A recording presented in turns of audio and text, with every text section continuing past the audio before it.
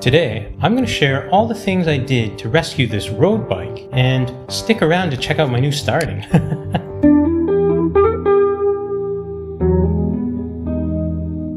so, I'm always going to start out with an inspection, and this one's pretty easy to inspect uh, at first glance. It's missing a front wheel, it's really dirty. You can see it has really good parts, and it's a high performance geometry bike. It's got a, a, a very deceiving look sticker on it.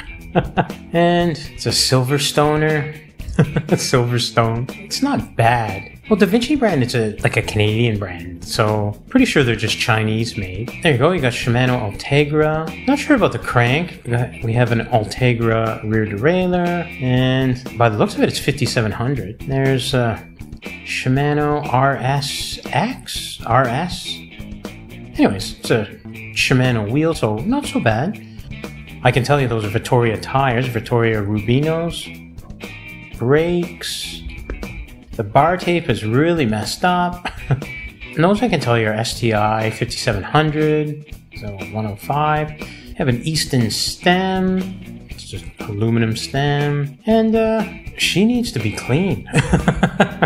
That's a lot of work. Just take a look here at the bar tape a little closer. So what I did is I just quickly wrapped it up because I want to wash it and I don't want the uh, the pressure washer to mess up the tape. So um, oh, we definitely need brake pads. I've put on a front wheel that I had and we're gonna head down to the car wash. So as you can see here, I'm just gonna use the pressure washer. It takes a little bit to, to get the soap going, so I'm just gonna wash it down, see how, how good I can get it, how clean I can get it.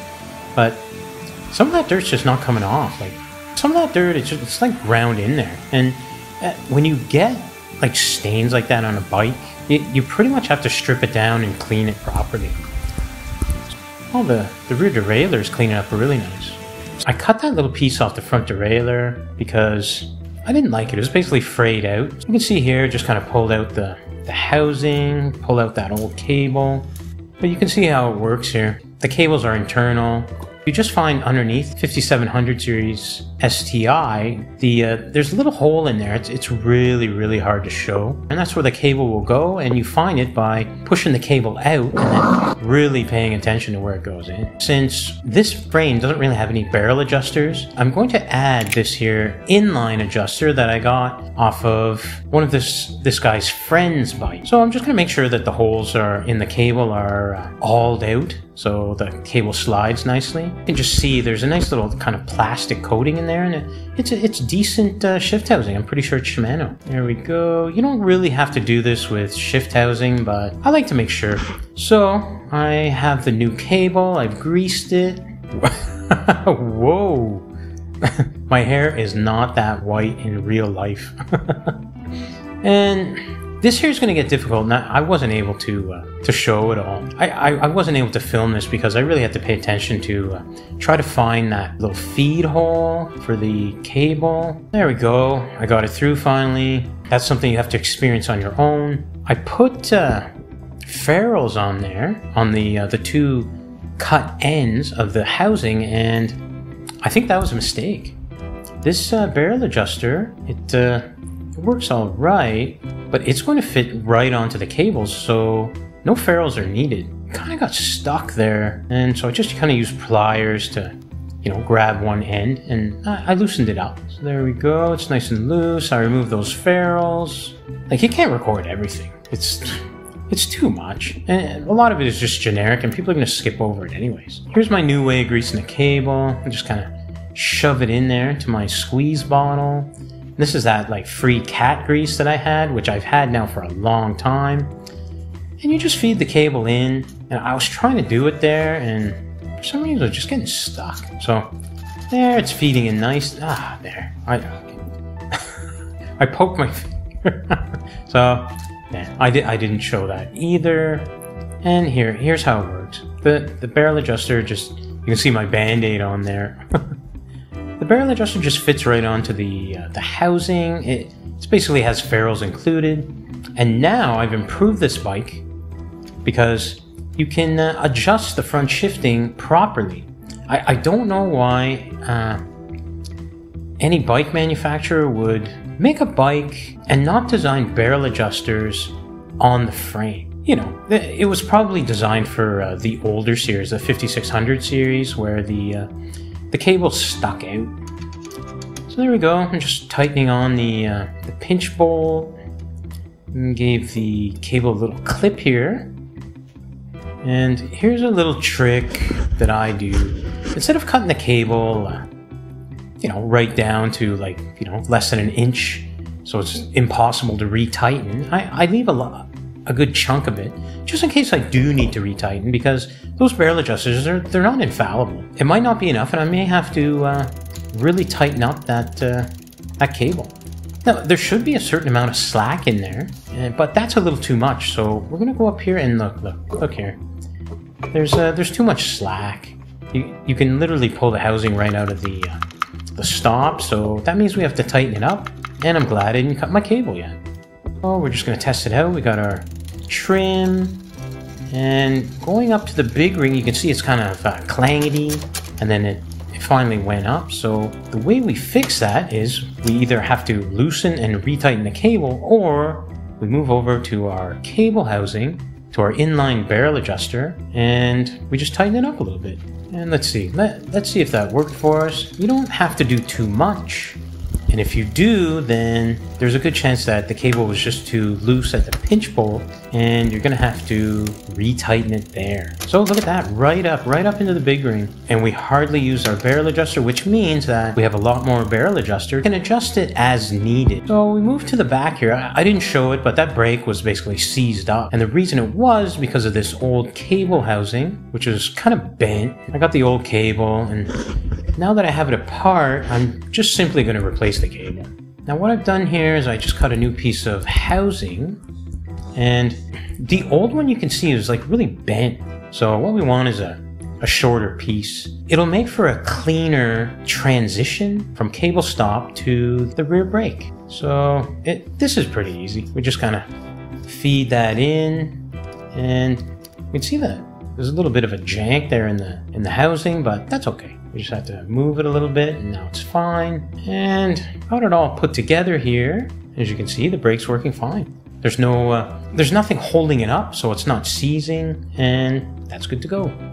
Now, that old bar tape was kind of chewed up. It looked okay on the tops when I showed you earlier, but the uh, in the drops it was kind of beat up, so we're just gonna give them new bar tape. This stuff here is is pretty generic. It, it's nice bar tape, but you know, again, there's always that problem with these uh, kind of clamp covers that they give. There's that little bit of sticky, and sometimes it's just not good enough. So what I do is I take a little piece of this electrical tape that I found on the ground and am still using, and I'm just gonna wrap it up here just to kind of hold that piece on while I wrap. And I was just messing with it.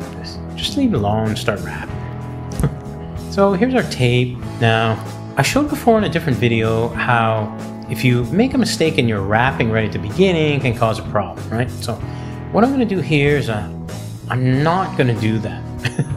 I'm going to actually do this a little more pro style. You can see there, there's kind of a little nib, but that's basically the edge of the of the bar. And what we can do, if, if there's a little too much, we can just trim it off. So you can see uh, I left a lot there, but you know, like I said, we can just trim that off. So again, you know, just a quick kind of bar tape refresher here, just kind of wrap from the inside out so that it uh, it flows with the the natural uh, movement of the hand in the drops. Uh, I'm sure like I could explain this uh, differently using different uh, descriptors and verbs and adjectives and such, and maybe I will. I'm, I'm going to do it in that, that figure eight style because in the last bar tape video I did, I didn't reverse the direction of the bar tape on the top of the bars.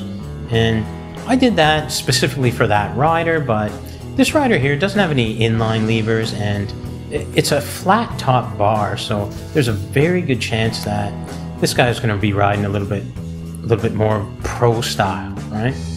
So when he's on the tops, what's going to happen is his hand, the butt of his hands are going to move backward, and that'll be the natural direction that we want the bar tape to wrap. You can see here it, uh, it's going pretty well. the uh, I, I, don't even have to really inspect the back of the uh, the clamp and the hoods. It, it's wrapping quite nicely. It looks really good, and I foresee no problems. I didn't really show my best work in the last video, and there's a reason for that. Basically, if a pro shows you how to do everything pro, then you're always going to try to mimic it, and you're never going to get it right. But if you see how normal people do things, you know, the average person, then you can see what it's going to be like for you and what type of hardship, okay, we'll call it hardship, that you're going to uh, experience or perhaps experience. There we go. I'm not going to cut it yet. I'm just going to tape it in.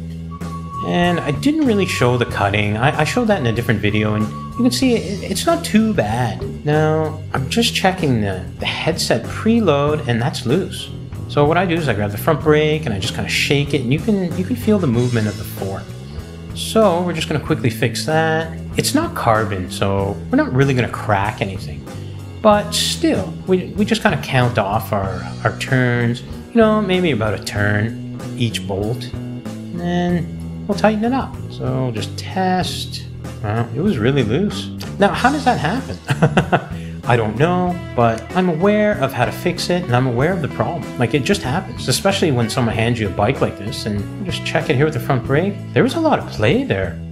They just say, here, do your best, try to fix it up. And when you know what to look for, it goes very, very quickly. So there we go. I just uh, basically did the same amount of turns to tighten that I did to loosen, and it should be good to go. Now, just going to lube this chain. I checked it with the uh, the ruler and it's perfect. This chain is like brand new. So we're just going to lube it and work it in. And I have this oil here, an oiler.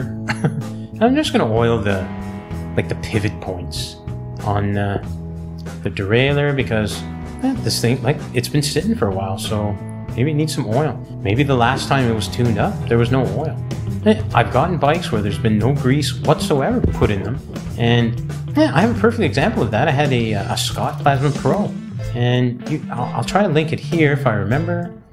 So the, the rear derailleur, I'm just gonna put a little oil there on the uh, on the adjusting screws, and I'll do these like these pivot points. But yeah, quite honestly, it's kind of a pain in the butt. Really, you take it apart and then you uh, you service the derailleur fully and it should be perfectly fine. There's a little bit of oil on there. I suppose I could flip the bike over and do the other pivot points, but we're just to do a shift test here.